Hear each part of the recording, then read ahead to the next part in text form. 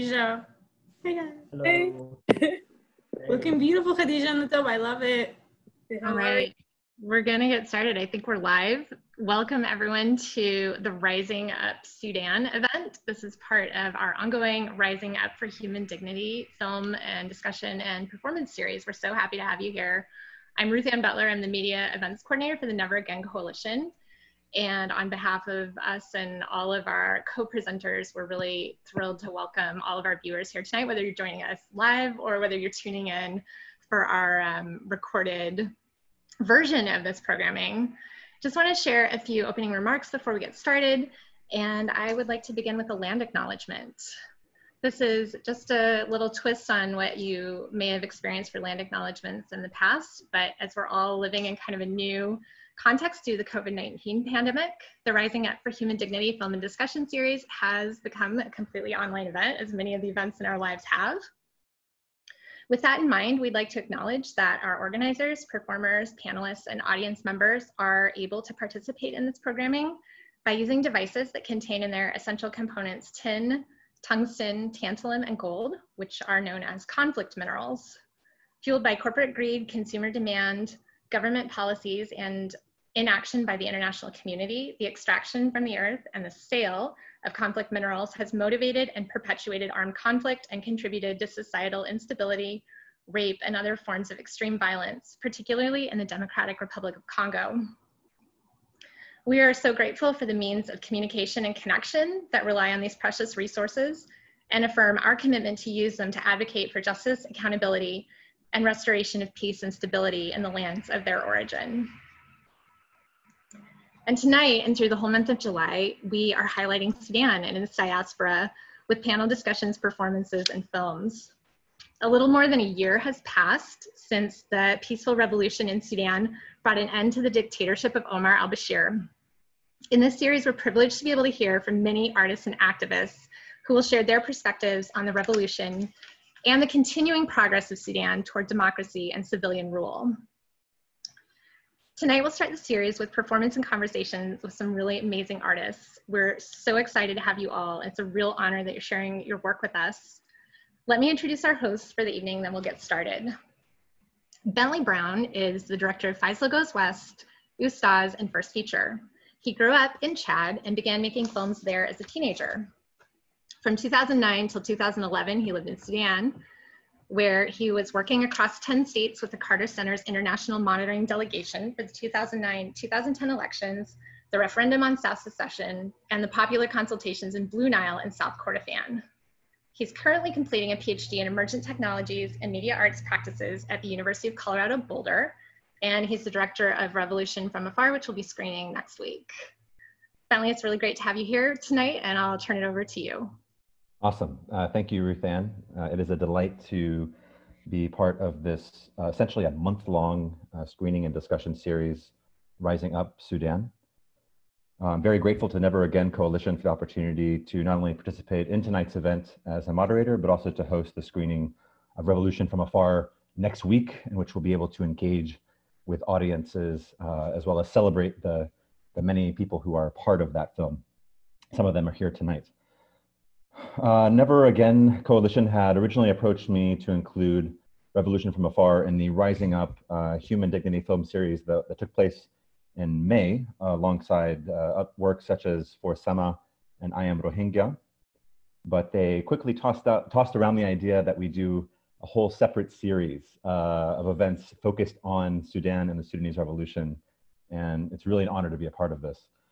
Uh, I'm very honored uh, and delighted for Revolution from Afar to screen alongside uh, these other two films, Rupa Gogineni's I Am Bisha, which I caught at the uh, Sheffield uh, Film Festival uh, a couple years ago and was laughing my rear end off in this like media library place. Amazing, amazing, amazing piece. Um, and then Marwa Zein's Khartoum Offside, which is a very accomplished film um, one that I'm very excited for, a very brave film, and, and it's an honor to be even in the remote category as those as those works. As we kick off what is essentially a month-long series of not only film screenings but also important discussions around identity and the role of art in activism. Tonight's guests are all performers uh, featured in Revolution from Afar, which made its premiere this year at this year's Sudan Independent Film Festival in January before the COVID lockdown, and was also featured in Vision du Réel in the online media library. About the film, in 2019, after months of protests across Sudan, the military removed 30 year dictator Omar al Bashir and cracked down after that in a violent fashion on a civilian sit in outside its headquarters in Khartoum. The internet was shut down, leaving those outside of Sudan to voice a plea for peaceful transition to civilian government. An ocean away, Sudanese American poets and musicians whose families left Sudan for America in decades past gathered in major American cities to perform in support of the revolution.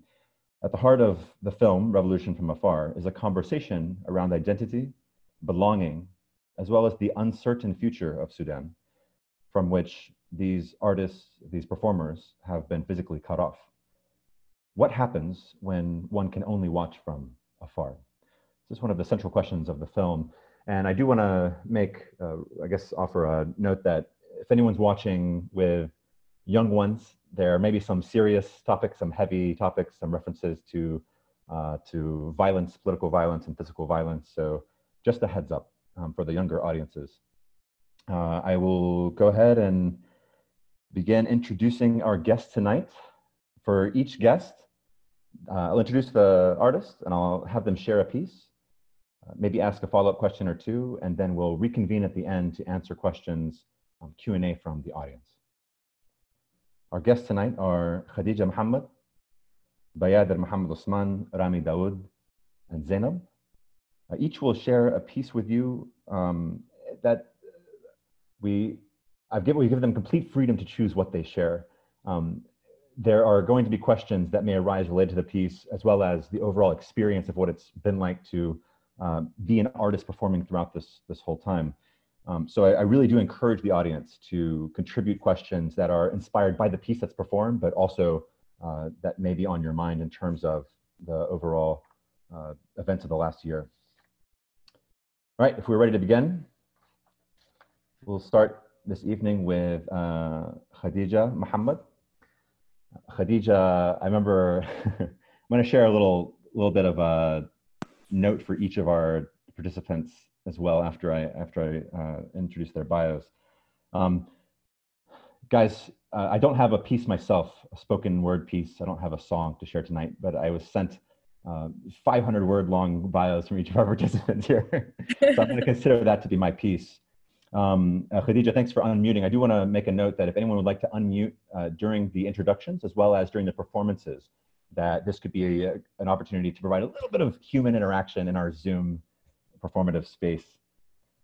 Khadega is a spoken word artist and a community organizer. She was born in Sudan and raised in Saudi Arabia. Um, her experiences there pushed her to speak up against oppression and bigotry of all forms. Khadega is currently a student at Wayne State University pursuing a degree in political science, and she has been performing nationally and internationally for over five years now. This is the condensed version of the bio. Now, I do want to give a little story about Khadega as we start off here. Um, we, we met at the SAPA conference in Denver. Yes. Um, conveniently was down the street from where I'm doing my PhD in Boulder. And uh, Khadega had, had performed in front of this huge crowd. I was filming at the time in the hopes that what I was collecting in footage could become some sort of a piece, maybe a short film, and it's expanded this feature project. And uh, like a total goof, I missed Khadega's performance. Didn't record anything. So uh, when you see the film Revolution from Afar, you'll notice that there's there are these long, in-depth intellectual conversations about the psychological logical impact, uh, the what it means to feel the revolution from afar.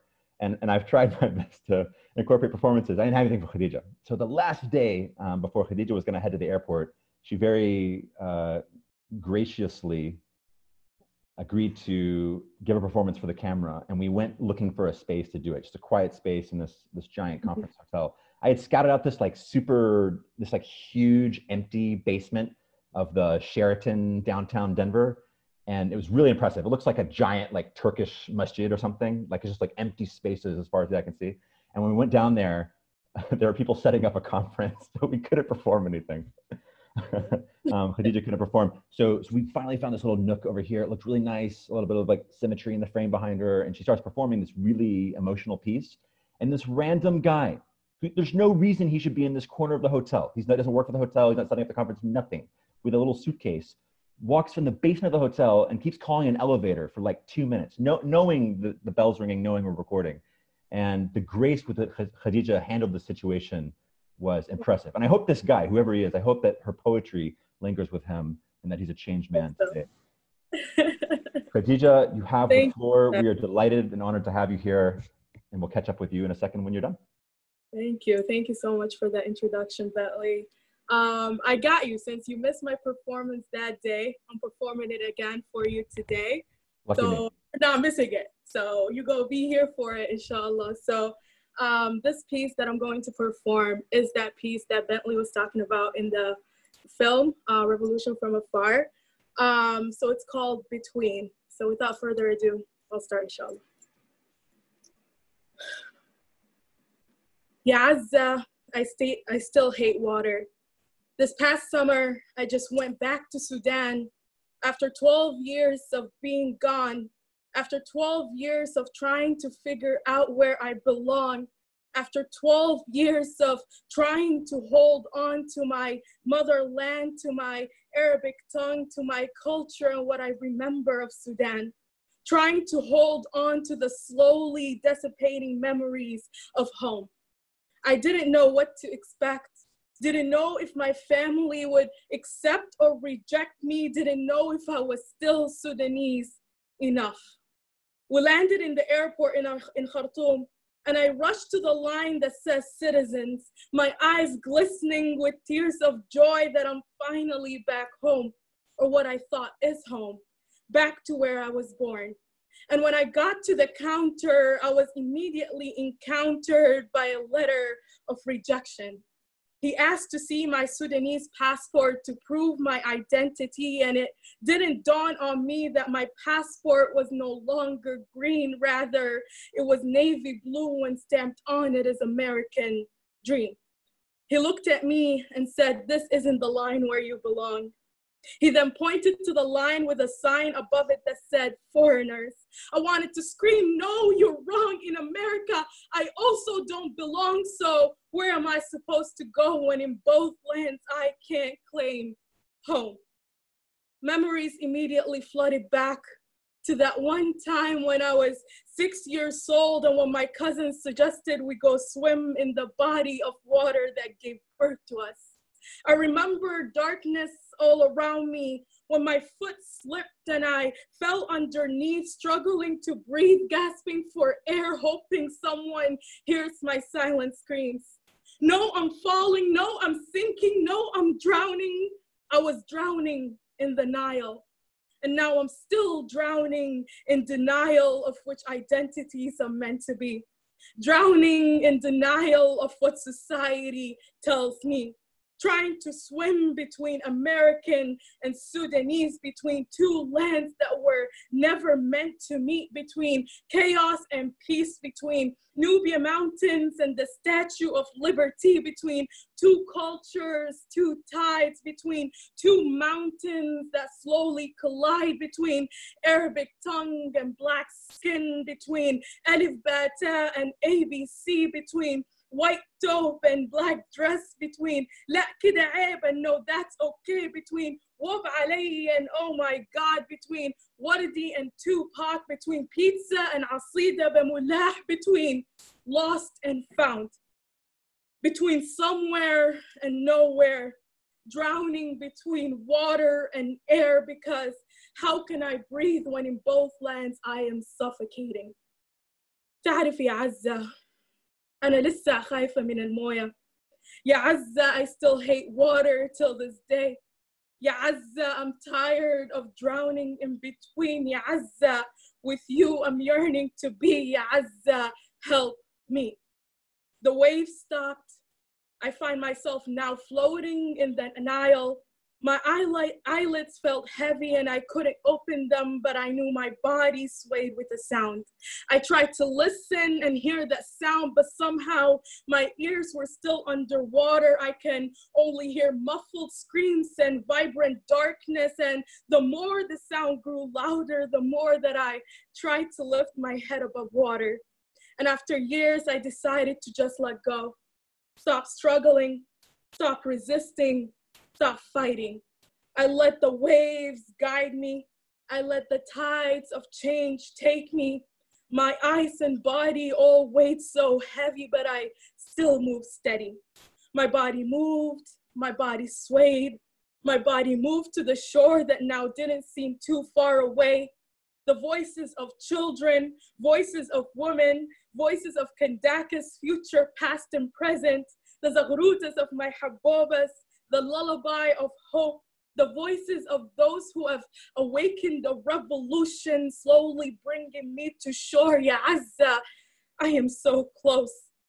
They try to tie bricks to my ankles to sink me, to stop me, to silence me. But what they didn't know is that you can try to drown bodies, but you can't drown truth. Because I am still here today. We are still here today I can hear everything loud and clear.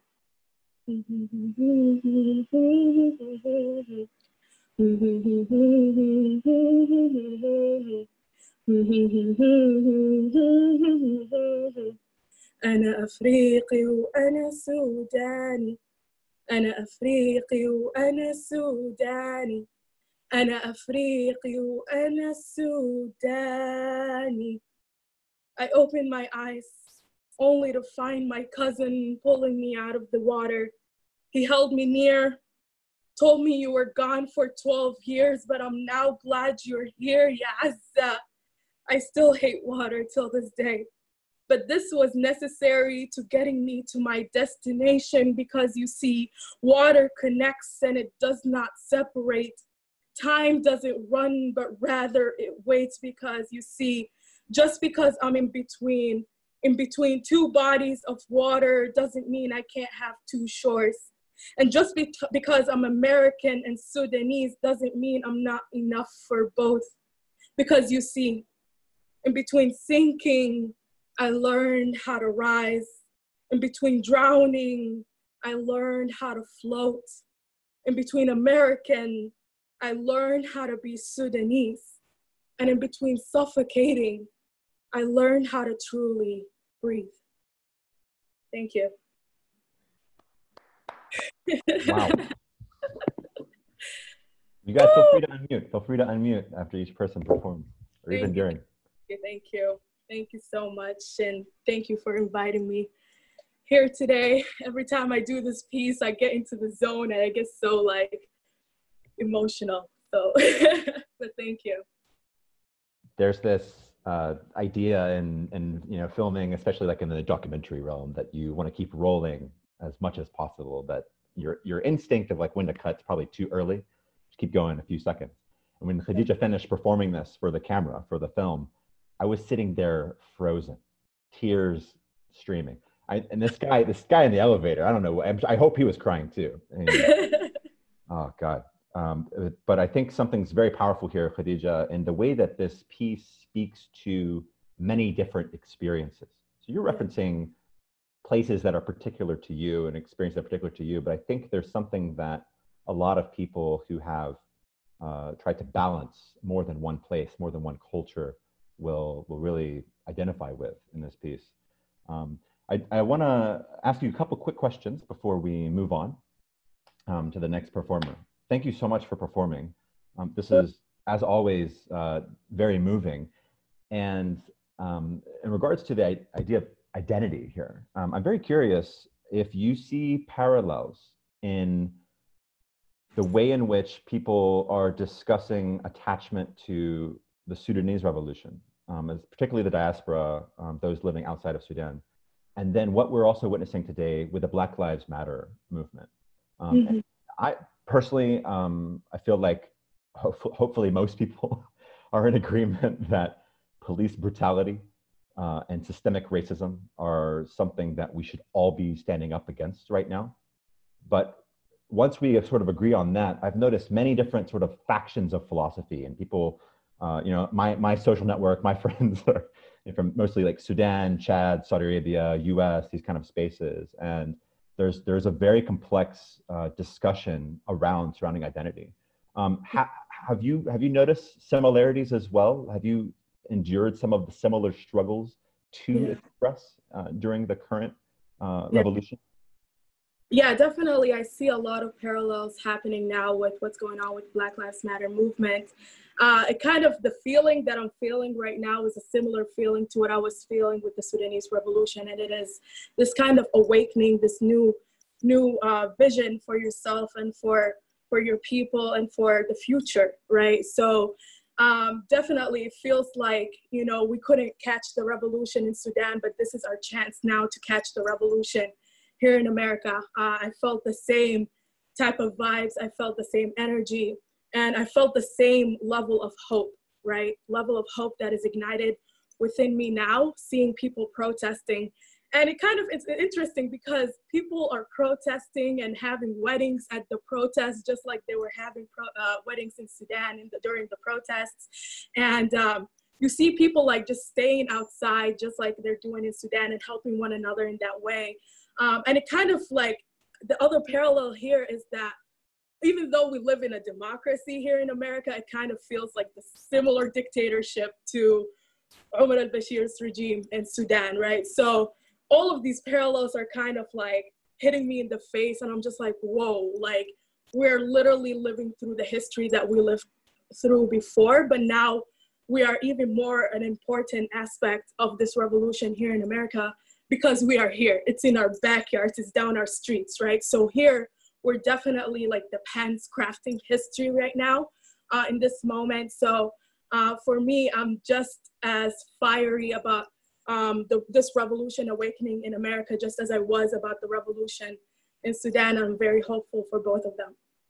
Awesome, thank you. Uh, also, I just want to encourage the audience to submit questions to the Q&A. We'll actually address in a section after the performances.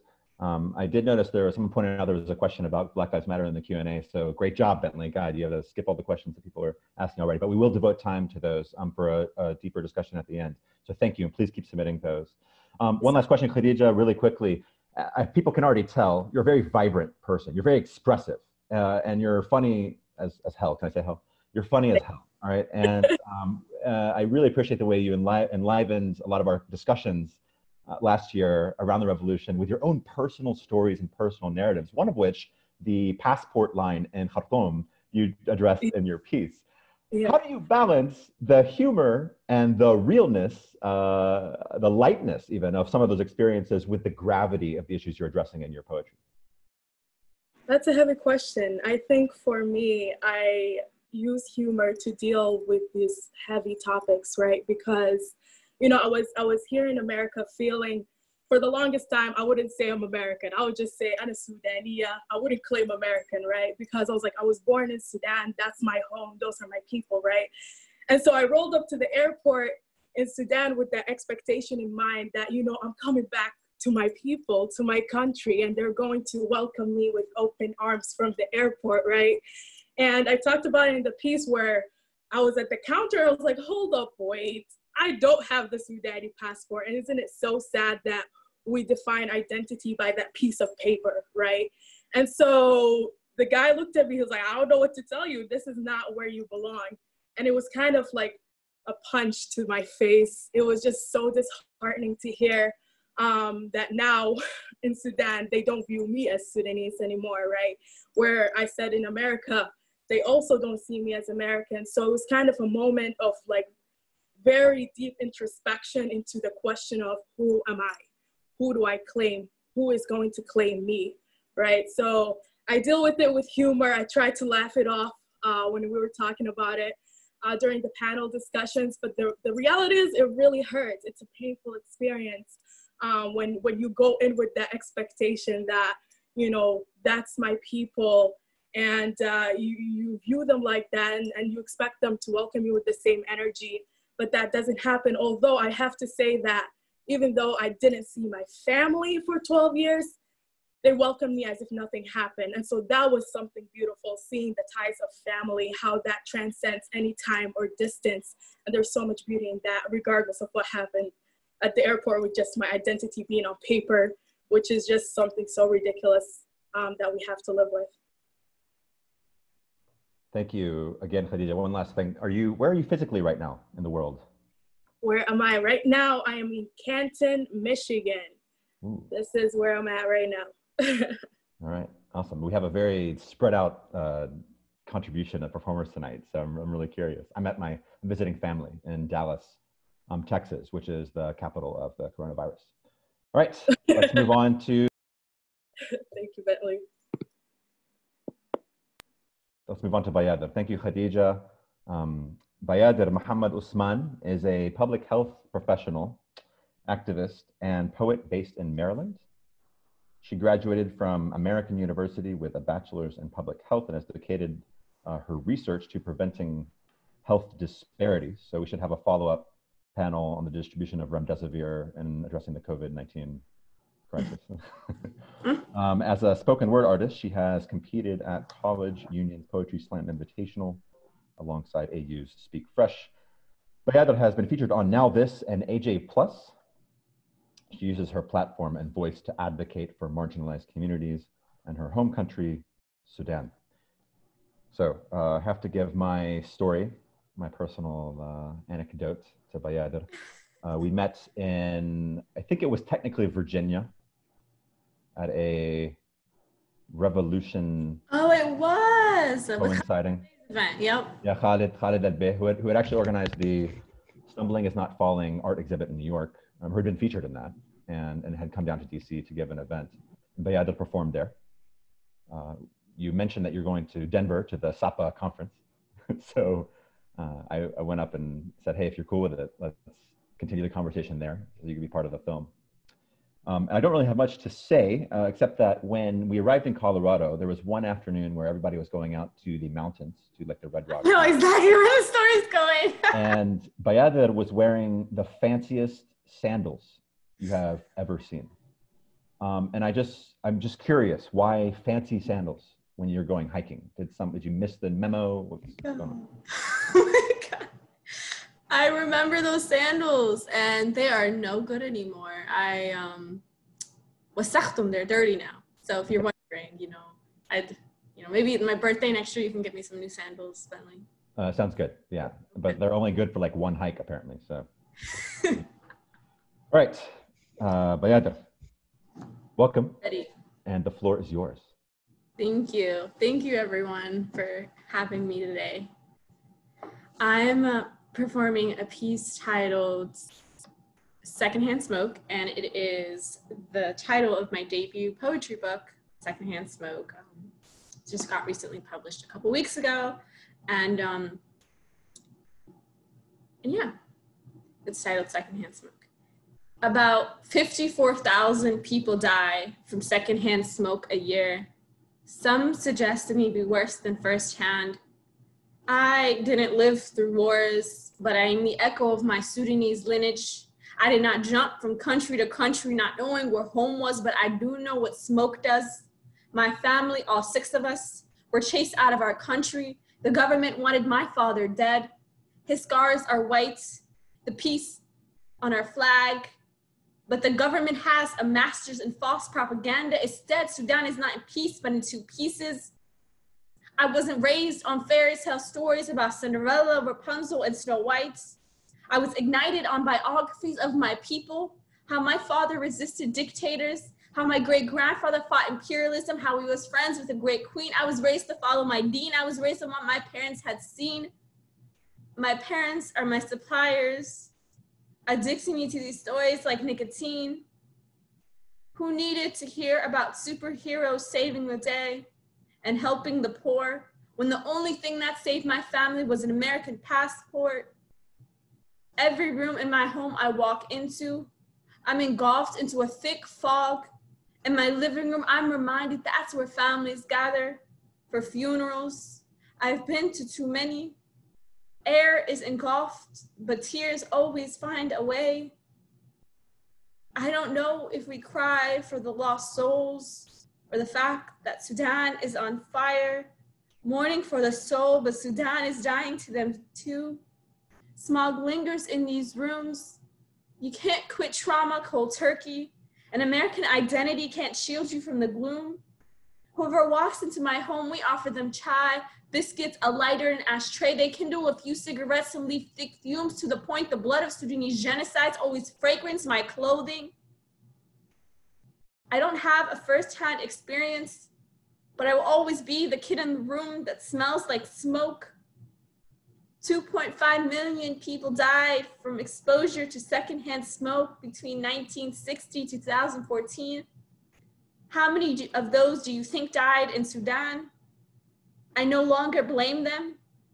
Smoke is meant to be exhaled eventually. All right.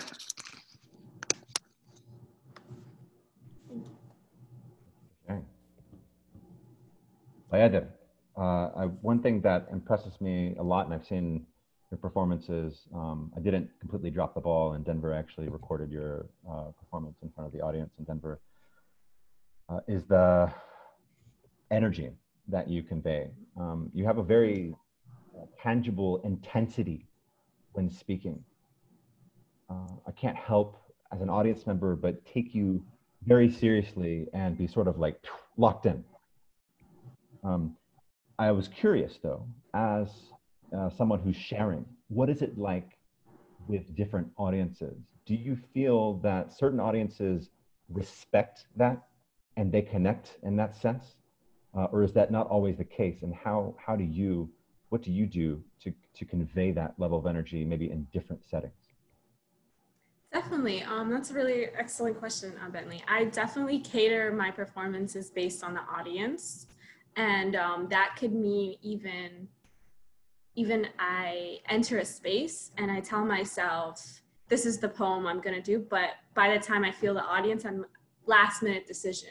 I change it. Initially, even with this event, initially I had another poem that I wanted to do, but then I really loved the introduction. Khadega's poem inspired me, so I wanted to do a poem about my identity and my Sudanese, um, the feelings I have of being a kid from the diaspora. So that's what I do as an artist. I cater to my audience, but also at the same time, I, I protect my energy. It's not because I want to just please the audience, it's also because I, as a, a performer, I'm not going to put my heart on a stage if I don't feel like this is the message they want to receive.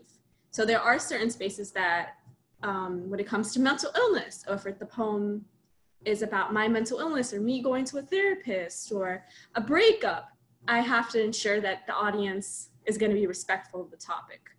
So. Uh, touching on this idea of a Sudanese identity in particular, one of the things that you lament in Revolution from Afar is that something happened when you moved to the United States um, as a kid that you, you wound up translating a lot of documents for your family. You were the like the designated translator person. You helped them navigate that adjustment a lot, and, and a lot of it came at the cost of your own exposure uh, to Arabic and Sudanese Arabic. You're exposed to it, but you weren't you weren't uh, given maybe the privilege of of being able to live in an all Arabic speaking environment. Um, you're you're very much balancing the liminal space between the two languages. And one thing that stuck with me is you mentioned even a lot of Arabic poetry that that you don't necessarily connect with it. And that's something actually I, I feel like in even like the Arabic dialect I grew up speaking is very uh, let's say far from the classical Arabic that's often used in poetry, and I, it just doesn't doesn't vibe with me. Um, but that's a pretty big observation. Like that's something that I feel like that might be kind of gutting to have that feeling of maybe missing missing out on something. Um, mm-hmm. How does mm-hmm. this struggle impact your writing today? Oh yeah, this um, this conversation definitely it impacts my writing, impacts my relationship with my family. It impacts the way I see myself in terms of how Sudanese I am. It impacts me even academically. Um, I I am advanced in English, but there was a time period what, where I was taking ESOL classes. And while my peers had English speaking parents, these are the high school students that I went to high school and college with. And these are the people that took the SAT with me. So I'm being compared to students who have all this exposure to English and access to English speaking parents. And um, well, I am competing at an unfair advantage where I'm the best speaking English, uh, I'm the best English speaker in my family. I have the best writing skills in my nuclear family. So it feels like I have to uplift my family along with me, and it comes at it comes at a couple um, disadvantages, like you noted. I don't have that connection to Arabic poetry. I don't have a connection to Arabic music. And I'm regularly reminded of that when I enter Sudan, when I have conversations with families. So I, yeah, in one of my poems, I actually have um, a line that says, Another me is stranded across the ocean, the Sudanese girl that I could have been. And I always, I always think about the Sudanese person, like the Sudanese woman I could have been, because you know, this is this is the Sudanese American. But I would love to, you know, had that experience to truly be connected to my language. Well, thank you. Thank you very much, Bayadir. Uh, we're going to move on now to Zainab. Zainab is a first generation uh, American with Sudanese parents. From upbeat jazz to eclectic soul, Zainab's sound is expressed by a blend of vocals, ukulele, and violin. Zainab has also teamed up with a band of classically trained, innovatively creative collection of musicians, which adds flute, piano, bass, guitar, and live percussion to her repertoire. Based in Denver, uh, her music is able to serve as a catalyst for deeper conversation and community activism. So now it's time for story time with Bentley. Uh, I also met Zainab last summer. We actually met before the SAPA conference. Again, the SAPA is uh, the Sudanese American Public Affairs Association that has an annual sort of mobile rotating conference. Uh, we met at a kind of a fundraiser in Denver uh, in which I saw Zainab perform, and I was like blown away. She's like whipping out like the violin. She's over here singing. It's like it's the, the whole the whole array, the whole toolkit of talents here. Zainab has a song called Double Life, which was uh, featured in Revolution from Afar. And uh, Double Life is, I think, if I get it right, it's referring to the whole struggle between the Sudanese and the American identities, like that sort of space in between both. And it was exemplified when we were returning from Red Rocks, the national park. Um, it was exemplified in as Zainab was driving the car, she had to change clothes before we reached the place we were going. So we were like, we were out like hiking or whatever. And as I mentioned, some people had interesting clothing choices uh, earlier on. And as we're returning uh, to Denver, there's this massive protest. There's going to be like aunts and uncles out there, like the whole family's out there. So you, you usually choose a different attire. So Zainab, while driving the car, completes an entire change as the song is playing on the. I, I thought that was very uh, I don't know, poignant. Zainab, welcome. And we are eager to hear from you tonight. Thank you for joining us.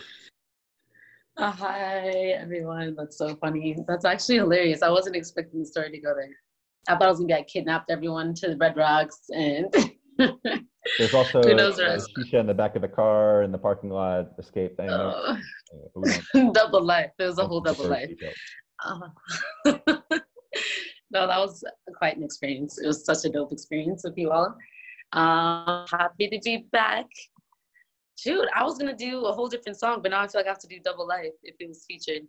Um, I'm in Saudi Arabia, which is funny, um, Khadega, because I'm here and you're in the States. you used to live here, but, um, and Bentley, because I know you were trying to get here for whatever reason.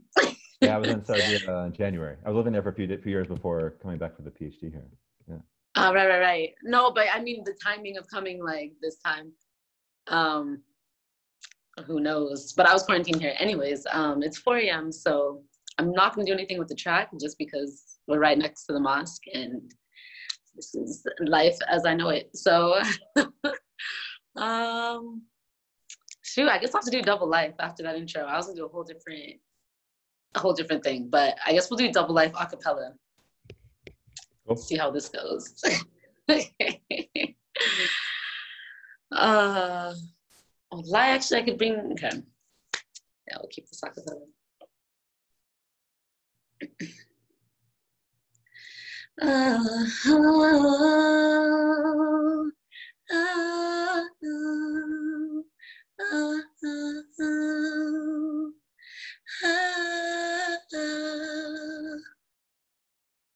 I'm seeing all lights.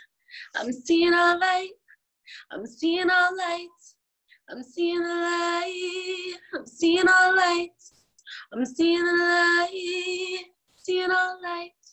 So staring right into the light. Dark tunnels are out of sight, they're behind me. Now I'm climbing and extending to the sky beams. No, try to take this away. You cannot take this away Double light, no. Double trouble, double strike.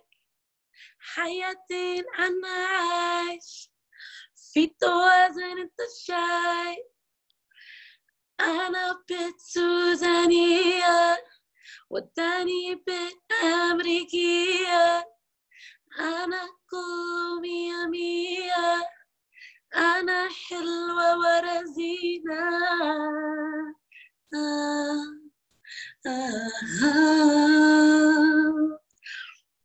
بعيد من قلبك out of mind لازم تاخد وقت take my time عاوز أكون أحسن need to refine لكن أحسن حاجة دايما a lifetime yeah. The moon phases I'm turning these pages اديني حرية بس out of these cages أنا هغني في international stages double light, no. Double trouble, double strife. حياتين أنا عايش في توازن التشايف To tell you the truth Yeah, who I am is what I do أسكت بس وأشوف إن شاء الله my legacy is proof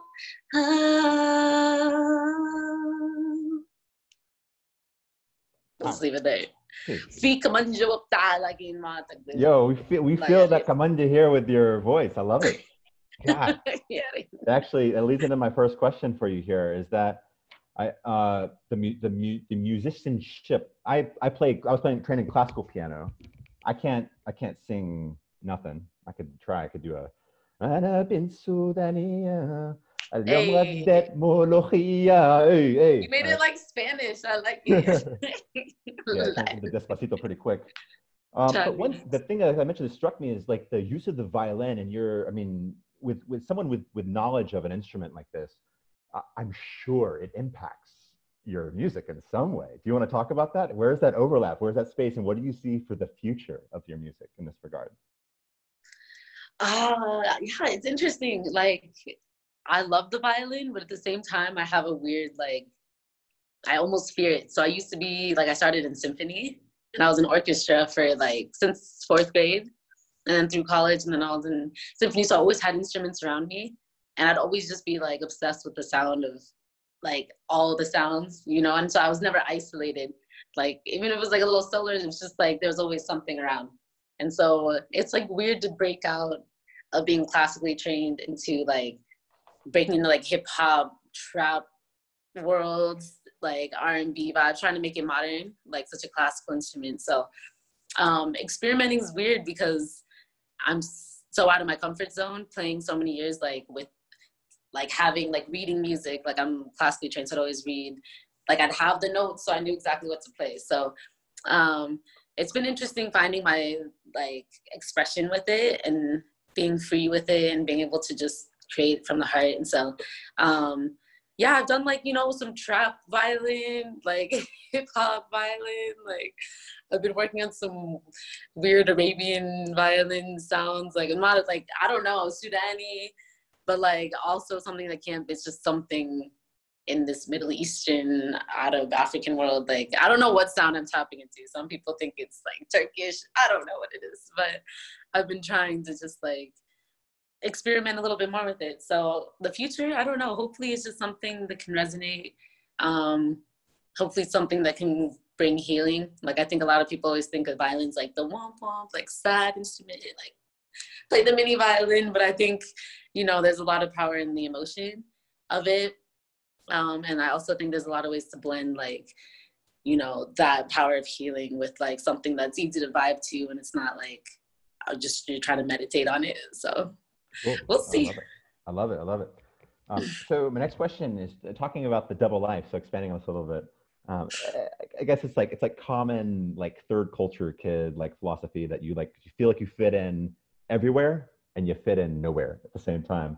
And you're talking exactly. about this double life. I'm curious, and you're in Saudia right now. Uh, you have Sudan and the U.S. Uh, also as homes. Is it is the double life different in each of those places, or does it feel kind of the the same vibe in each one? Um, definitely different.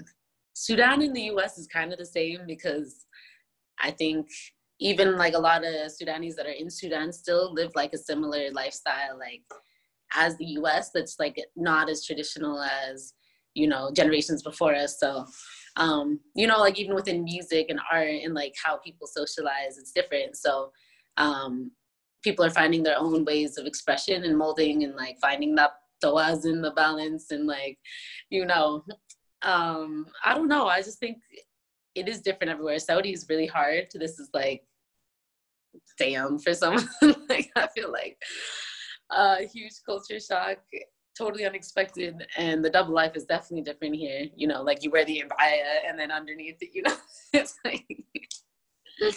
um. So yeah, double life is different everywhere. I think, but I think it's more of like how you allow yourself to, you know, blend. Like you want to respect a culture and the place that you're in but at the same time you want to be true to yourself and you know like not conform and not lose yourself to some expectations. So i don't know. I'm trying to just i think the balance is when it's not harmful or like you know it's like not disrespectful disrespectful but it's also empowering.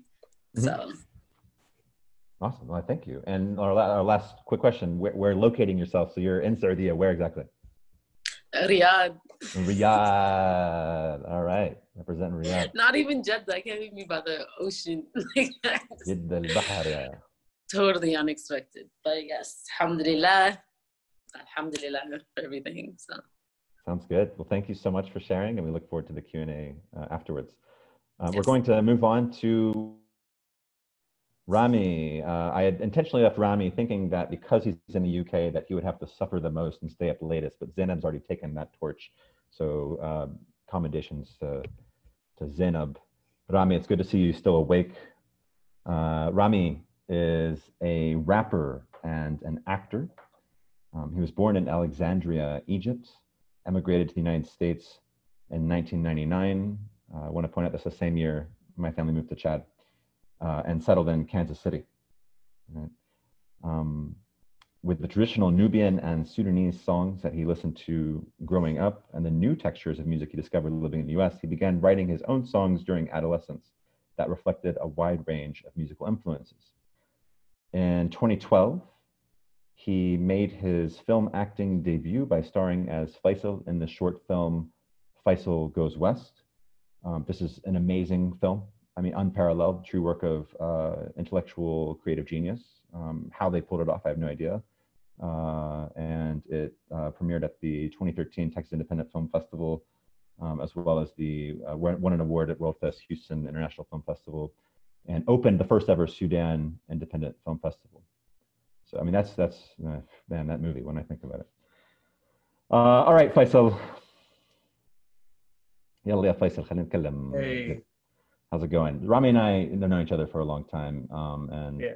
my my lame joke there was because we worked on this film together. Faisal Goes West, but I think this one's kind of like changed both our lives in a way. yeah. Um, I'm ever grateful for everything you put into that film. We really abused you, and you took it in stride, um, which shows a lot. One of the forms of uh, of abuse on poor Ramey is that there's a scene in Faisal Goes West where Faisal, the main character, um, who has uh, is like going through all these hoops of like taking TOEFL and um, getting driver's driver's license and all these kind of things, is driving a car and makes makes uh, a turn down a one-way street and um, is like super crunched on time that cannot does not have time to like even consider any other way to turn out and uh, does a parallel park like against the flow of traffic like illegally and everything and since we were a low budget movie we weren't able to block the street off. So there were, this was all done completely like against the rules. And um, we totally put Ramey in harm's way. Uh, what I love about this moment is that there was a museum goer who had who stepped out and saw where saw Ramey like driving the wrong way down the street and parking the car the wrong way and everything, and offered to help teach him how to drive. Um, and you handled it with again with uh, pure grace, uh, immense patience. I thought that was a very big accomplishment, Ramey. So thank you and congratulations on that um, epic moment. Delighted to have you here tonight, and delighted to hear from you. Um, Ramey was in both Brooklyn and Denver. So he was at that uh, Stumbling is Not Falling art exhibit that Khalid Albaih was uh, organizing, as well as the SAPA conference, both of which are featured in the film Revolution from Afar. That said, Ramey, the floor is yours and welcome. All right, first of all, uh, thank you for having me be part of this. Um, uh, you know, just uh, very honored to be here with all the amazing uh, performers. Um, I'm going to perform a song called uh, the Martyr Song. And I'm going to do it a cappella as well because it's 2 a.m. and my wife is sleeping in the next room. And I'm going to have a very angry wife if I play music at this time of the night and wake her up. Um, this song was written, uh, a lot of people, uh, if you're first time hearing this, uh, my cousin was uh, actually uh, one of the early martyrs who was killed in the beginning of the revolution in uh, January 2019. And so I wrote the song and to honor him and honor all the people we lost um, in that struggle. It goes, uh,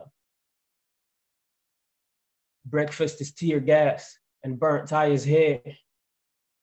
Digging in your flesh, bullets from the liar's head. You put your fist in the air and walk through the fire here. 30 minutes later, your life will expire here. Promise you'll come back to me safe, your mama said. That's when you gonna feel the hollow tip drilling your head. You'll be sorry that you left her message on red. Before you could reply, they gonna shoot you dead. Last night in the cold, my sister faced the heat. This morning, we found her braided hair along the street. Same evening, she came back home bruised up and beat. She refused to wear the uniform of defeat. Last week, my neighbor's kid went to play outside. Sharp teeth bullets would seek while he would hide. One bullet bit him on the neck, the other on the side. Now he's fast asleep on his last ride. If you ever wonder why I act so weird, you killed my brother and forced me to watch him bleed. A bullet in your heart is all I need. I can imagine revenge would taste so sweet. Does the pain ever go away? Hardly.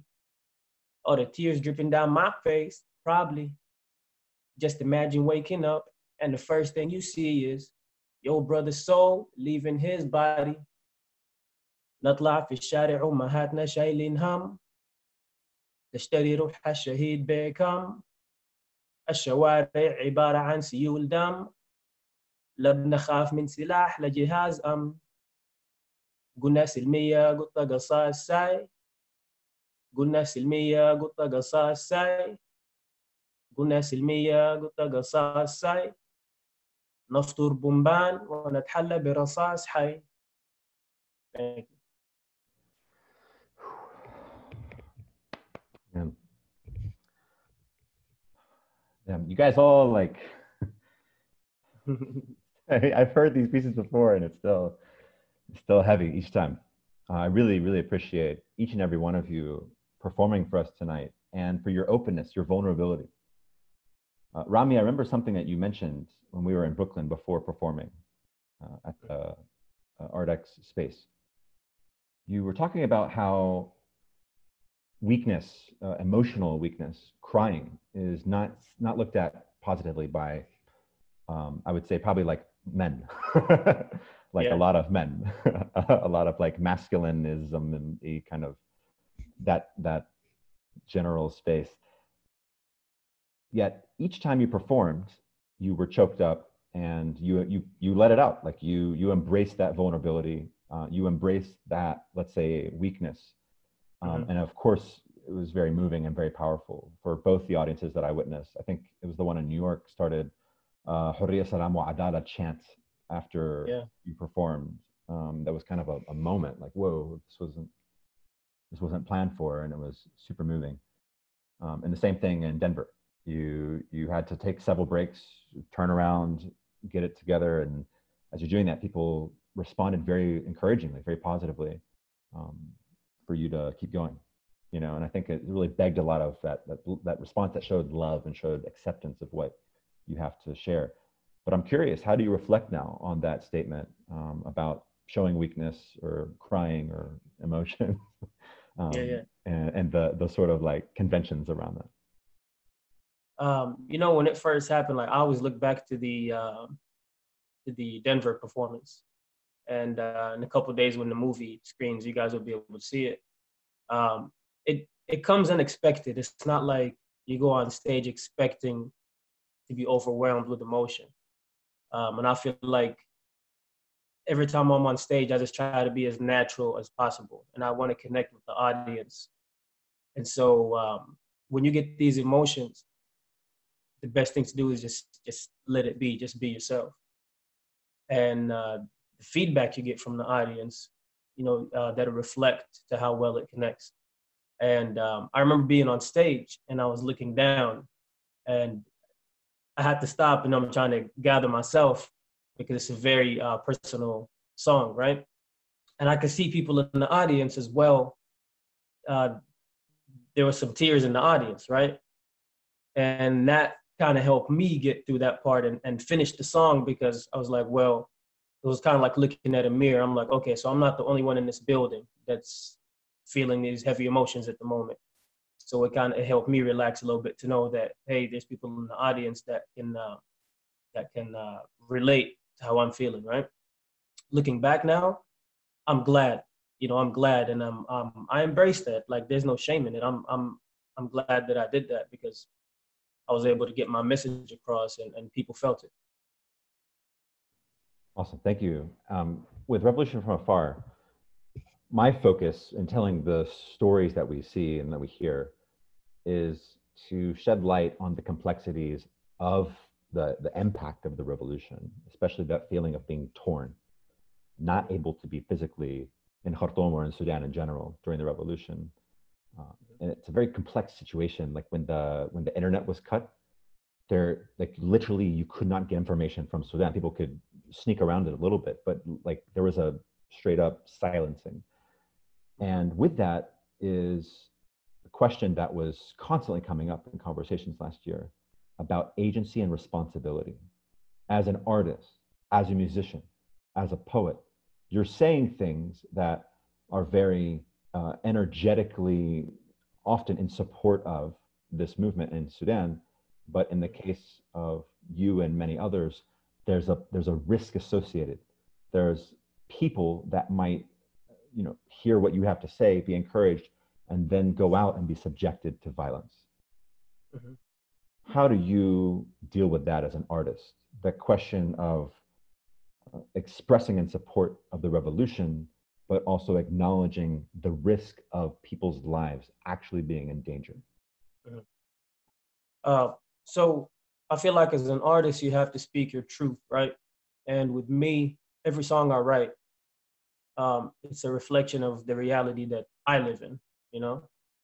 However, I've also made it very clear, even in when I tweet things out or whatever during the revolution, um, not just to myself, but I would make a note to other people in the diaspora to be very careful of trying to lead the revolution from afar, right?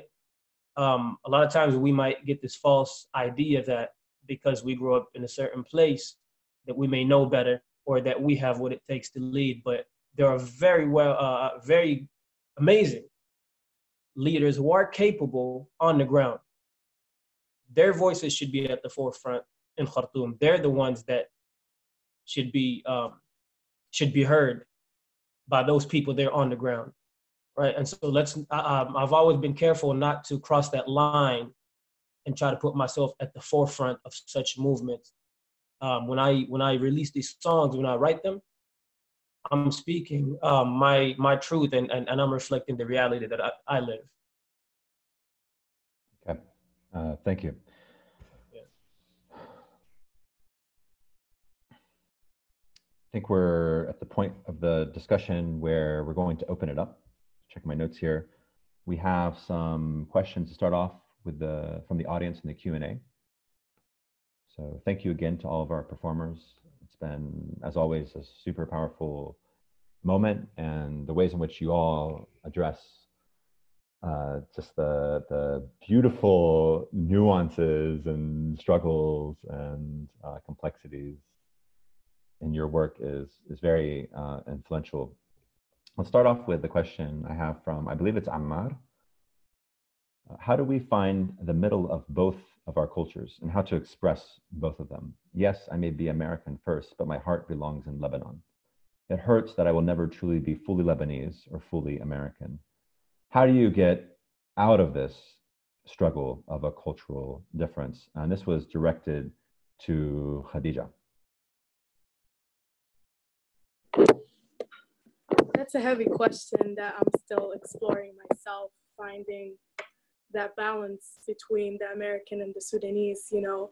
Uh, but I think it's important to recognize for yourself that you are enough for both, that you don't have to choose one thing over the other, um, that we are all an accumulation of so many multiple identities and different cultures, different backgrounds, right? So uh, I find it beautiful um, being a mosaic of so many different um, cultures and things that I can be proud of and roots that I can say proudly and uh, claim proudly, right? So we often think of identity as just like a, a one dimensional thing, but we have to recognize that it's a multitude of many and there is beauty in that.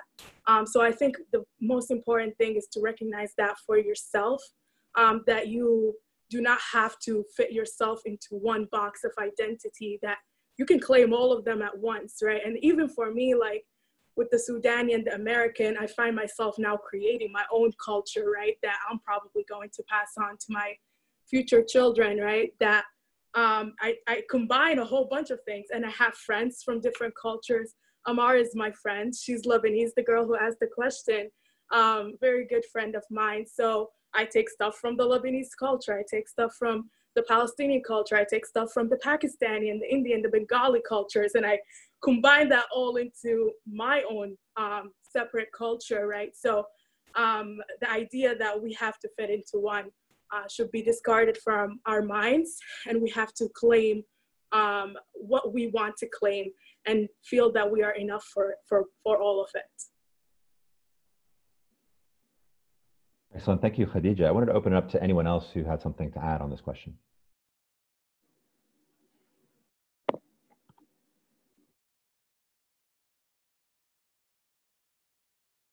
Well, cool. Okay. Yeah, sure. No, uh, no offense taken. I can answer finally. Go for it. Go for uh, it. I'll just add a couple um, points to Khadega's answer. Um, I noticed in your question that you said I'll never truly be fully, fully um, Lebanon or Lebanese or fully American.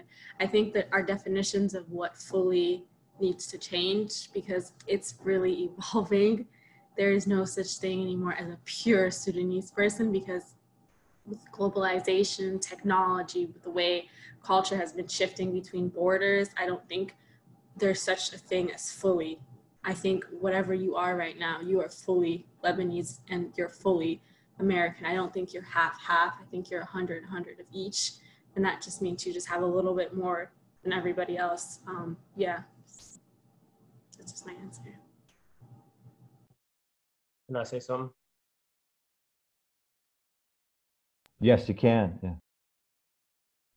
Uh, I've always looked at it like, uh, actually recently, uh, like Khadega I said earlier, I used to try to fight each side, right? I used to want to be Sudanese and not American and whatever. But um, I started looking at it like there's different layers. It doesn't have to be one or the other. I'm actually all of these things at once. And not only when I accepted that, but when I began to embrace it, that I really kind of felt peace, this inner peace. I don't have to, I don't, I don't need to let anyone define who I am. I'm all of these things. I can eat gurasa one day, and you know what? I can have some Kansas City barbecue the next day. You know what I mean? I'm all of these things at the same time, and I think it's a beautiful thing to, like Khadega said, just we have our own culture and our own identity that we create, and there's nothing wrong with that. Awesome. I'm going to go ahead and skip down the question, then we'll go back up to a question from Muhammad Sid Ahmed.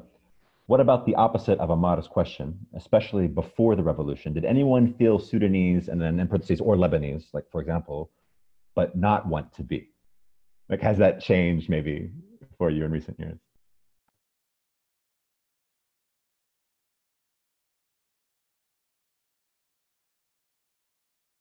Was this a question for?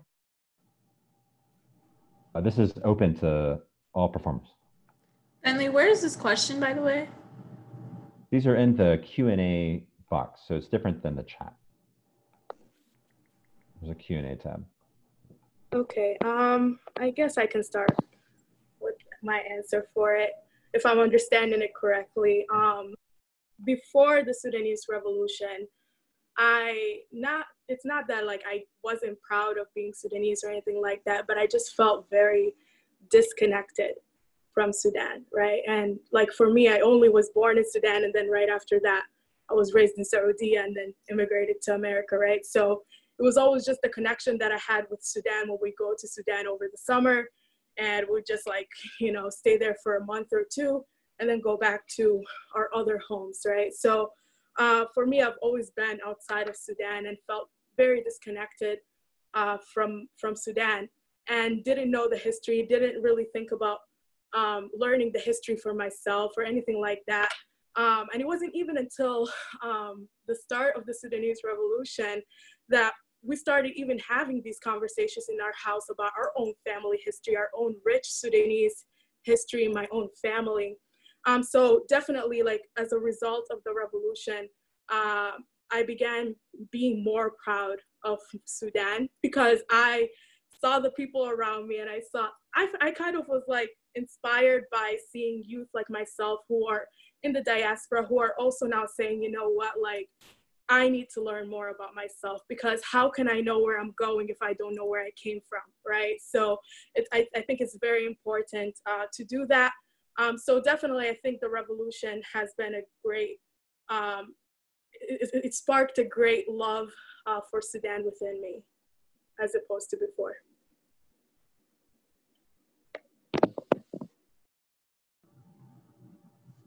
I can also hop in on this question. Um, in terms of my relationship with Sudan before the revolution, as Khadega mentioned, it was kind of, it was, that's where I'm from. This is the cultural traditions that we follow, my family, this, I want to help Sudan. It was just very surface level. But I think during the revolution, I recreated my uh, my relationship with Sudan because now I'm in the now I'm a part of the community that's rebuilding it and and I'm seeing it become what I've always thought it could be. Before I didn't have a personal connection. I didn't have my connection to Sudan before was based off of trauma, to be honest. My family had to leave Sudan um, due to political asylum. My father was an oppositional leader. So the Bashir regime was the reason why we had to literally flee Sudan.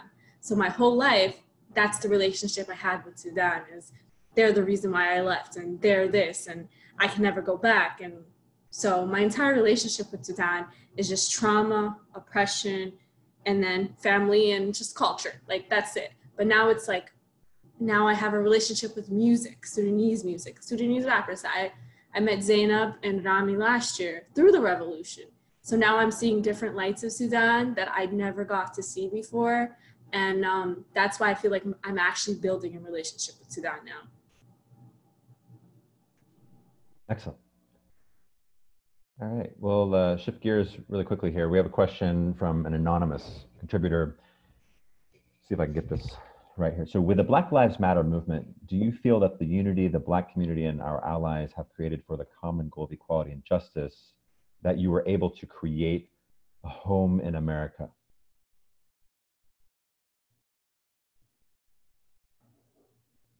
Can you repeat it one more time? Yeah. Uh, so it's it's with the Black Lives Matter movement. Do you feel that the unity of the Black community, the unity of the Black community and our allies have created for the common goal of equality and justice, you were able to create a home in America? I'm guessing, like, uh, were you? Do you feel that you've been able to create a home in America? uh, I mean, I'm kind of having a hard time understanding the question, but just based on what you said, um, yeah, I feel like again it goes back to like the, the place of belonging. Um, you're never gonna re. I feel like I'm never gonna be accepted 100% on either side, right? Um, as far as Black Lives Matter is concerned, and, and the situation right now in the U.S., um, as someone in the diaspora, um, you know, like if a police officer pulls you over and pulls a gun on you, he's not going to ask if you're Sudanese or not. They see skin color first. And there was actually a Sudanese man that was killed not too long ago. Mm-hmm, mm-hmm. Right. Um, so I feel like it's a global, uh, global blackness needs to understand this. And uh, I don't even know if I'm answering this the right way because I don't understand the question 100%, but I hope what I'm saying makes some sort of sense. Yeah, it did reference like recent developments, but you all moved yeah. to the United States a long time ago before those recent developments. So I got you. But I think I think the question is very valid about yeah, have you been able to craft a home? Yeah. Do you feel uh, welcome? One of the Khadega's comments in one of our discussions was that yeah, you can you can sit here. It's kind of what you were saying, Ramey. You can sit here and identify as this, this, this, this, that. But at the end of the day, you're black to the system. So you know, um, yeah. Anyone else have anything to add to that question?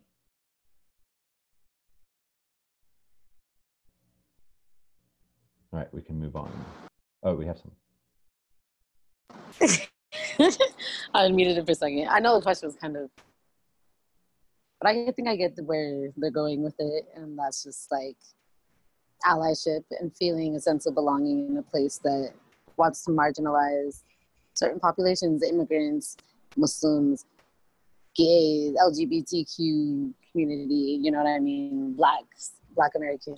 So I think allyship is crucial to feeling like you have a home because you have a sense of belonging and a sense of understanding within your community. And I think that's what everyone's seeking. And even like Sudan is evolving into a place where like Medina and now the community can evolve in little ways like by having allies for domestic violence, for, you know, women's rights, for uh, helping the youth, and all kinds of efforts. So, um, yeah, I don't know. I've my home we've made homes in, the U.S., so I don't really know, but allyship is key. That's my cents.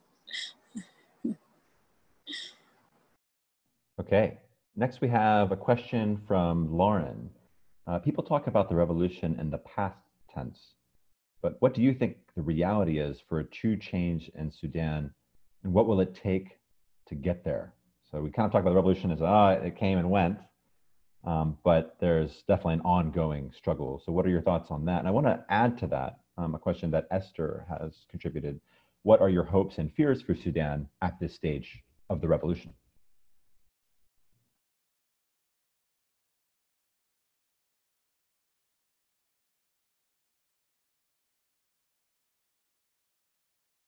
So I feel like uh, we speak we speak in the revolution in the past tense uh, because that's what was in uh, in the spotlight at that moment in time.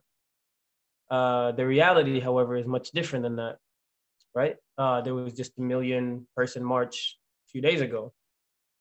Uh, for us to see real change in Sudan, I feel like it's very important for us to understand the dynamics of Sudan and Sudanese culture and Sudanese history. Um, for example, imagine how someone from Darfur right now feels to see Hemeti at the forefront of this so-called change happening in Sudan. And people in Khartoum whether they know it or not. The reality is this man is a he's a warlord, he's a murderer, right? Um, it's it's very uncomfortable, right? How can we talk about change and how can we talk about um, how can we pretend like there's real change happening when an entire portion of the population who had to witness their families and their homes being burnt down and such and, and the man that's responsible for it partially responsible for it is now really he has the highest seat in sudan right? If we all titles aside and right just just seeing it for what it is he's the most powerful man in the country at the moment.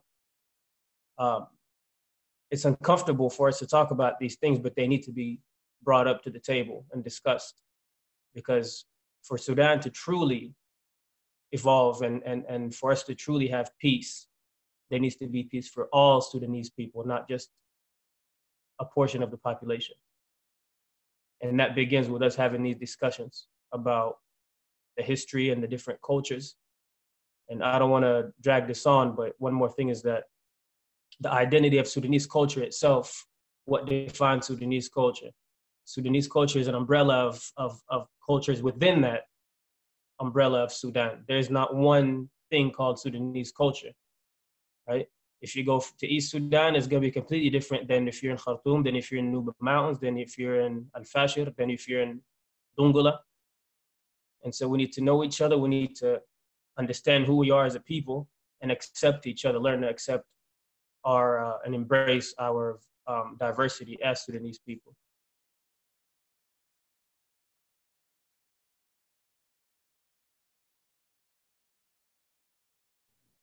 Thank you, Ramey. I have a question. It's a perspective here from Adel, which might be related. And so feel free to answer the previous one, sort of like the, it's kind of a big question about the future of Sudan, um, and as well as the sort of the revolutionary, ongoing revolutionary struggle.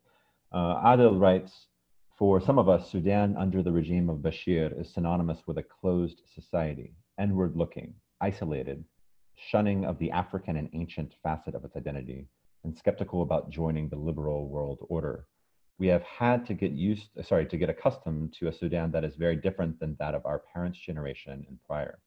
How do you feel about the potential role of artists to help larger society embrace and explore multiple identities that have become a part of the diaspora, as well as a large and open-minded and long-resistant segment of the population?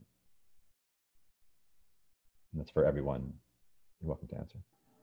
Uh, thank you so much for that comment. That was so beautifully put. Um, I would, I definitely agree with you. I think artists play a pivotal role because they are a reflection of the people, what the people want. Um, so I think artists have a responsibility to keep reflecting um, what the people want and what they want and to use and to have platforms to do that on. So I think us as a community, um, adding on to the previous questions, what type of Sudan do I want to see? I think we have incredible artists in Sudan and performers and dancers, but just investing in them for uh, resources, for opportunities and things like that I think a huge theme that we had for this conversation is realizing that we played a role in the revolution from afar, but a lot of homage and respect needs to be given to the folks who have been on ground in Sudan and doing a lot of the heavy lifting. And our job as artists from the diaspora has always just been to give them the microphone, give them the platform, give them the resources. So I feel like artists are going to play a role in the revolution. So these are our voices from the diaspora, but I encourage everyone in this um, Zoom today to reach out um, and follow artists who are based in Sudan. So that's an opportunity to do that. I mean, but Bayadir and Ramey, you guys answered that so beautifully. And uh, I really don't have much to add to that other than um, highlighting and emphasizing what Bayadir has said about artists is that, you know, literally artists are the narrator, narrators of history as it's happening, right? So they tell our stories and they magnify them and, you know, people need to listen to that because, um, you know, like you said, Bayadir, they are reflecting um, the people and what's going on there. Um, so definitely, I think it's important to uh, uplift those voices in Sudan, uh, outside of Sudan, because we're just as Sudanese as well, but definitely the people in Sudan. Um, and uh, like Ramey said, we definitely need to learn more about the, the diverse culture cultures that exist within Sudan. I think oftentimes we get stuck into thinking that there is one uniform Sudan uh, with one group of people, but we neglect to remember that there are so many different languages in Sudan, so many different religions, so many different um, groups of people, right, that we need to celebrate and we need to highlight and we need to uplift and we need to magnify their voices as well. Uh, because like if, if we are not all free, like Sudan will not be free. Uh, and I think oftentimes we chain each other um, and that we need to begin um, freeing ourselves by ourselves with each other. So I think that's really, really important and a really important discussion and dialogue to have.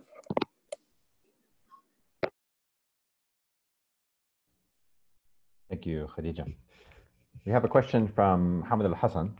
Uh, will there be any way to watch the film streaming? And the good news, I can answer this one. The good news is that yes, indeed. Next Thursday, July 9th, the film will be available to stream. As long as you've signed up for the Rising Up Sudan series, you'll receive a link with a password to stream the film throughout the day of Thursday, July 9th, leading up to uh, an awesome celebration of the film. Uh, many of the faces you see tonight will be back next week, in addition to others.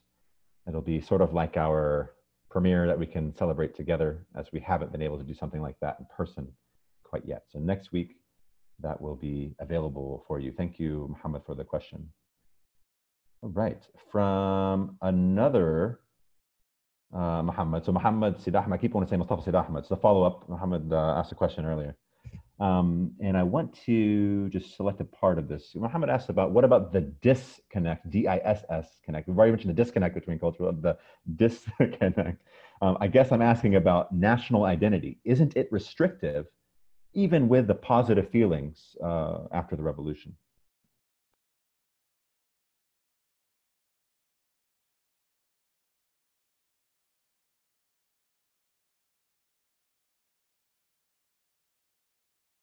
Uh, can you read it one more time again? It's uh... so so Muhammad's asking about national identity.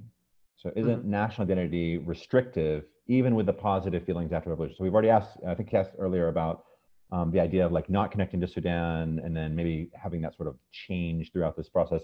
I would add, from my perspective, like not connecting to America as well. Like Khadega mentioned earlier, sort of like the idea of claiming Sudanese identity at a younger age and how that sort of evolved for her. Like for me myself, like I've, had, I've gone through stages of my like adolescence where like I didn't want to have anything to do with America. Uh, or then, then it was Chad, then it was the both, and then was, you know. So um, what about the national identity? Could it be restrictive? I'm guessing in sort of like describing maybe who you are, um, even with the positive connotation associated around a nationality uh, and a movement, for example, like the Sudanese Revolution.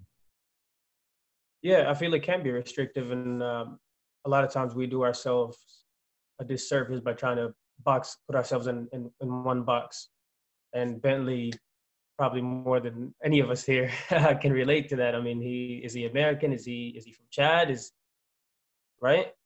And and growing up in Chad, I'm sure he faced certain uh, there were certain aspects of of of him also feeling that um, was he welcomed as a as, as a Chadian, or was he looked at as the white American guy that what that that that plays soccer with us? And so uh, I think anyone that has this uh, that, that kind of lived this dual has this dual identity, uh, multiple identity thing going on in their lives can relate to that, and and I feel that in one way or another it can be restrictive if you try to force yourself in one box.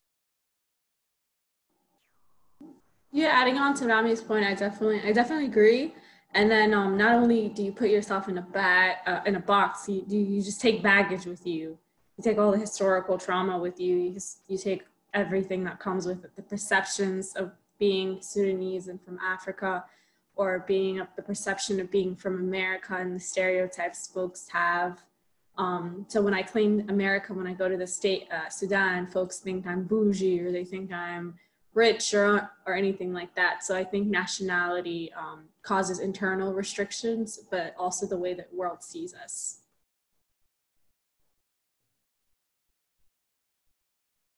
Excellent. Uh, Zainab, you have something? Um, Um, that question, I know I'm trying to figure out the nationality piece because I feel like, you know, after the revolution, you want to connect. I think that led us all to connect more with Sudanese and being Sudanese and embracing ourselves in that nationality. And in that respect, I guess, it's different on what's on our passport and what's, you know, stamped on our hearts. But I think even the distance, the separation of physically being in a place while a revolution is going on is distancing. You can, don't feel as involved. You don't feel the effects of what's actually happening from the revolution emotionally, physically, mentally. So um, I think it's it's a balance of all that of the space and having support and understanding what's happening and you know discovering your identity through that wherever you fit, whether it's from afar supporting or you're in the mix. Um, yeah. Sorry, it's so early, you guys. it's 5.30. I'm trying to stay focused. But we appreciate that's my, it. That's my sense. Thank you, Zainab. Thank you. Awesome. Um, we have a, we're going to do a couple more questions here before we wrap up. And uh, I think Ruth Ann will take over and offer some more comments about the, the whole month and we'll get to get a chance to see the trailer of Revolution from Afar. That'll be our closing moment tonight. Um, let me let me take a question here from Lee. Lee says, "You all are awesome." Thanks, Lee. Uh, thank you for your art and passion. It is important and inspiring. One question: What role do you see that the Sudanese diaspora could now play to help develop a vibrant cultural space in the new Sudan, not only in Khartoum but all over the country. And if I can editorialize this a little bit, um, there, let's let's be real. There's we've talked about disconnect, talked about the challenges of identity. There can be some differences between the perspective of Sudan from outside Sudan and the perspective of people within Sudan, and I would say within Khartoum and the other parts of Sudan. I remember things that we would see, like when I was living in Damazin or Kadugli, these places. People in Khartoum had no idea these things were happening. And there, there are like layers of discourse spaces happening here. But Lee's asking, what, what do you see as the role? Like, how could diaspora play a role in uh, developing a vibrant cultural space in Khartoum, but also outside? And you're free to answer as you please. Um, honestly, think is our role as a diaspora, having resources um, from the outside, from places that are you know have are more technologically advanced. And there's a lot of things we could bring to helping the community develop and bringing resources and helping organize and you know show people like how dope a concert could be with visuals in the background and like um, and i think people are doing it on their own but i think there's a different level of organization and access to resources that we could provide to help support. And also just having like the groundwork foundation set in other country being the diaspora and more developed countries having art galleries and having that be a more regular part of the culture. But I think it could be integrated in a way that is still um, authentic to the Sudanese culture and tradition and allowing the culture in Sudan to elevate to the same ways we see, you know, Western culture elevated in media, in events, in just public spaces and transforming the community into that. And I think it's already happening with like art, you know, like there's so many more murals since revolution and people are, you know, coming out as artists and singers and everything. And so I think it's just a matter of having like guidance to kind of embrace that and how to package it and to be successful, you know, and I think um, just, I think we could provide just resources and experience and um, support, you know, and also help promote people and get their get them outside of Sudan and get them known, you know, in other places that they wouldn't be able to access. Um, so, yeah.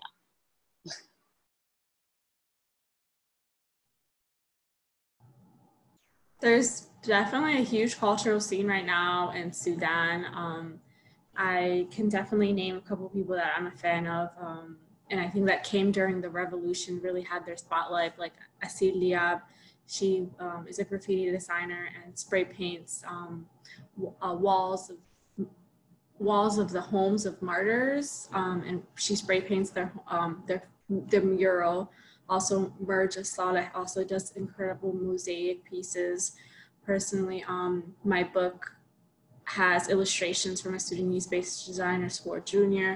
So these artists exist, they're doing amazing. It's more so just inviting them to the conversation, inviting them to the table, giving them the resources. And um, and when we say resources, I mean money. I mean money. I think that's what they need. Like these people are so talented. It's just more so how can I bring a Sudanese artist to the conversation? How can I uplift them? How can I share their page versus somebody else? You know, yeah, Asil Diab, I'm so glad you're familiar um, with her. So yeah, they, the cultural scene in Sudan already exists. Uh, the issue is that people aren't just people aren't looking for it. Um, but yeah, I just hope people actively look for it. Um, and I think, Bentley, sorry for jumping a little too ahead. There was another question in the chat box about um, people's perception about Sudan and like their relationship and like tourism, how that's an opportunity. Um, I see that as an opportunity for Sudan's future as well to um, show people that this is a tourist spot that um, can bring more attraction.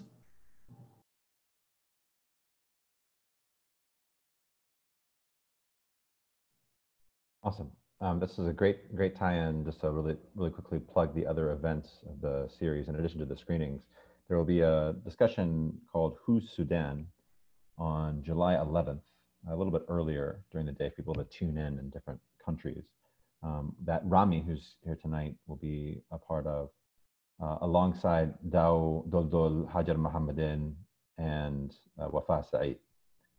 So uh, I guess Hajar and then Ramey and Wafat to an extent we're all, well, Wafat was like a super organizer of the SAPA conference.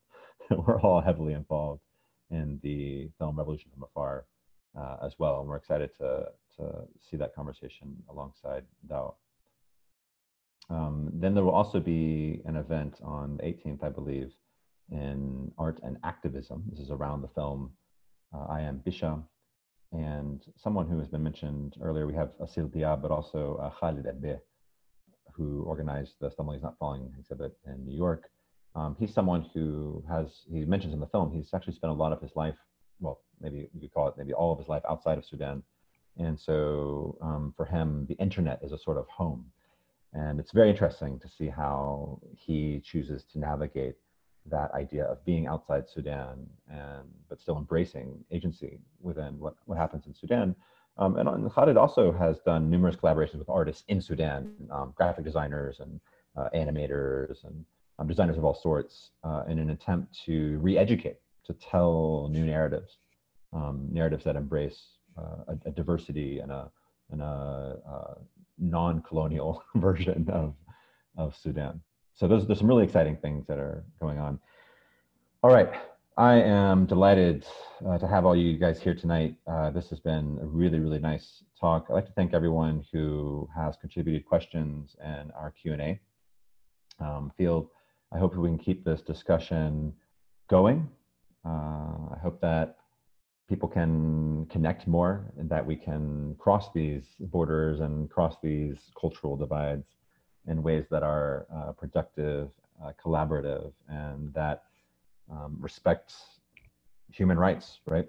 So uh, please, uh, everyone, um, round of applause for each other. Thank you so much for being a part of this. And I'd like to give you a really brief, uh, quick final remark if you can. Tell us how to follow you, how to connect, what's your What's your new album? What's your new book?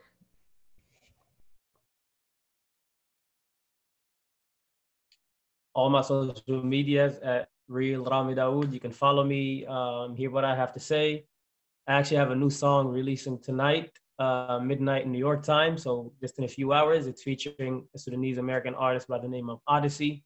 And it is a song called The Strife. And the strife is a battle that we have growing up. It's a battle of identity. It's a battle of uh, you know, Sudanese culture being enforced at home and the appeal of American street culture as well. So I would appreciate the support if you guys, yeah, featured on all all all platforms, Spotify, Apple Music, YouTube, all of that good stuff. Um, at Real Ramey Dawoud all my social medias. If you can follow me, check out what I have to say, and I'll follow back most of the time. So I appreciate the support.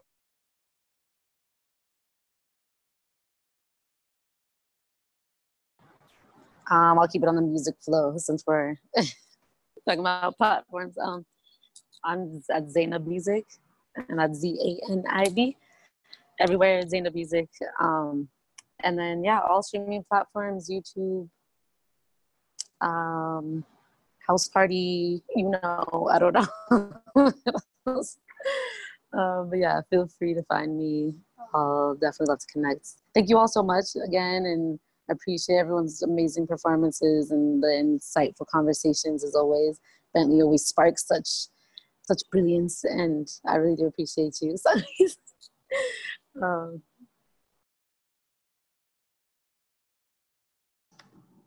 You guys um, can find me on social media on Twitter, Instagram, and Facebook. Your Be- Your Baya, um, and that's be your Y O U R B A Y A. Um, my book, Secondhand Smoke, is my debut poetry book. Uh, it's titled Secondhand Smoke, based off the poem I read. Also has illustrations from Sword Junior, Sudanese-based illustrator, and it can be purchased on yourbayadir.com. All right, so I don't have anything to plug, but you can follow me at the Khadega Mo, T H A K H A D E G A M O. Um, honestly, I shock myself. I don't know what I'm about to do next. We'll find out.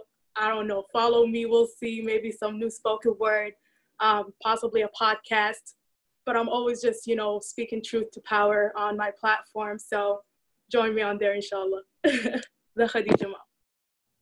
Awesome. Thanks again. Thanks again to everyone. Um, thanks again to the Never Again Coalition. Thanks. I see uh, Farid is contributing here in the comment box from SAPA, another organization we've kept mentioning. These are these are organizations that are they're a lifeline for these discussions right now. Um, I, as a filmmaker, I was scared to death how I'm going to be able to get this film out. It was a film that I, you know, as I go through post production, I'm trying to get it out rapidly to where it'd be part of the discourse. And then suddenly with the covid lockdown everyone's isolated. We're all far we're all watching every revolution from afar now in a way. Uh, so to have an organization like this never again coalition um, to reach out in such a personal uh, and supportive manner just means a lot to me personally and i and i hope it's been something for everyone here tonight uh, gives us something to look forward to uh, gives us the hope that that that the discussion is ongoing that voices are being heard and that's infinitely valuable. So huge thanks to Never Again Coalition. Um, really hope to see you guys, everyone, at the future events as part of, of Rising Up Sudan. Uh, I think we're going to turn it over to Ruth Ann now, and we'll close with a trailer for Revolution from Afar. Awesome. Thank you so much, Bentley. And we have people in the chat asking where they can find all of our performers. If you I'll just want to throw your um, links into the chat so the whole audience can get them. That would be amazing. Um, I want to thank our all of our co-presenters. We have a huge number of organizations that when we reached out to them and we told them about the series and that we wanted to do it, and they were so eager and so enthusiastic to be part of it. I think it just really speaks um, to how broad a range of supporters there are for peace and justice and accountability in Sudan and democracy. Very importantly, I want to just list them all. In addition to us Never Again Coalition, there's also World Oregon, Amnesty International USA Group 48, which is our local group here in Oregon, Portland State University's Holocaust and Genocide Studies Project, Portland State University's Conflict Resolution Program, and Portland State University's Middle East Studies Center, the Oregon Jewish Museum and Center for Holocaust Education, Sudanese American Public Affairs Association, IACT, STAND, Act for Sudan, Cool Islam, Sudan Unlimited, and the Cascade Festival of African Film. So I want to thank them all for their support and for promoting our event. And, um, you know, we had no idea when we started planning this, when I started talking to Bentley a few months ago, and um, we had this wonderful Sudan event emerge um, as its own entity from our, our May series that we put together. Um, we had no idea what context this was going to be taking place in, and that we would be in the middle of this massive global uprising um, for racial justice and a conscious dismantling of the racist structures that have caused so much harm, not just in the USA, but in Sudan and all around the world, wherever they're happening, they're causing harm clearly. Um, and I, I just think it's been particularly relevant and timely and just really exciting to be able to amplify the voices of you all as artists and your messages and your um, just your your your insights your reflections your experiences and then the way that you're really speaking to these things with so much power and so much passion. And so i would just want to thank you all for that for sharing your heart your words your art. Um, Bayadir, as you as you mentioned it could be really vulnerable to put all of these things out in the space and you just all do it in such a beautiful and really powerful and compelling way. And it's just so so excited that we've we've we've met you and that we're able to bring your voices out to whoever is watching tonight or whoever's going to be watching the recorded version um, Bentley, thank you so much for your skillful moderating. It's been a pleasure. So excited to see Revolution from afar next week. If you're registered for the series, you're going to get a link to stream it next week, and then you'll be seeing many of these same faces um, next week after the screening to talk more about the film, including Macaulay Macaulay, the producer, and many more members of the cast and crew of Revolution from Afar. So make sure you're there for that. If you haven't registered yet, you can register at www.neveragaincoalition.org forward slash rising up forward slash Sudan. That's where you can find us. Please do, please share it. Um, also, please support these artists. We um, are, are really lucky that they're sharing their time with us, their energy for free. Um, we are we are taking donations for our series now and hope that we can offer offer something to our artists in the future for participating. I want you, if you feel like donating money, please, or you feel like purchasing music, books, please give it to the artists first. If you still have some left over, give it to our series and, and we'll keep bringing you this, this amazing programming. So we're gonna end with the Revolution trailer and we'll see you all hopefully next week. Trying to swim between American and Sudanese, between two flags that were never meant to be between chaos and peace.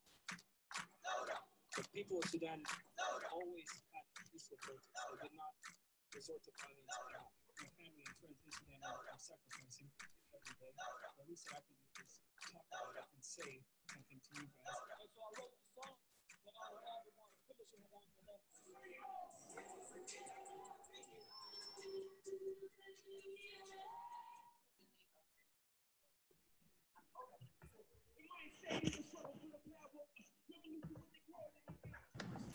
Bentley, can you turn it up a little bit? We can't hear. Very, very similar reason. Do I The acceptance of race that is Sudanese has changed. Here's my introduction. The kid with throw flow with no interruption. I built a function, but not for a production line. I'm one of Wake up kind. in the morning, write a name up in my notepad. I put it in existence every whisper thing I dream.